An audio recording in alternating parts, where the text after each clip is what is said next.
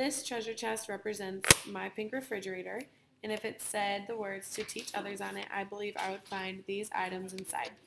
I have the ballerina to represent dance. I have danced my whole life, and I've been a dance teacher the last three years, and it's really important to instill confidence in younger kids, and so I want to continue being a dance teacher. I have an apple because I am getting a health endorsement, and I want to teach children how to live a healthy lifestyle.